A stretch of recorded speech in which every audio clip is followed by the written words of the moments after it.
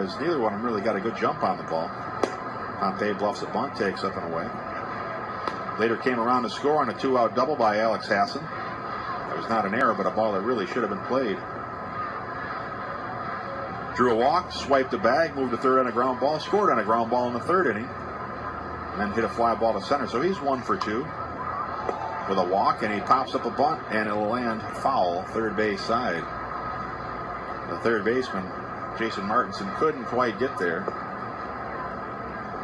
And the count will move to a ball and a strike now on Dalton Pompey. Dalton Pompey now 10 for 26 since his return from Double A.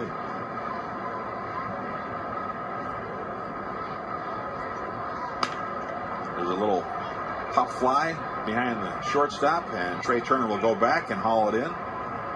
About 20 feet or so on the outfield grass. Two down here in the seventh. And that'll bring up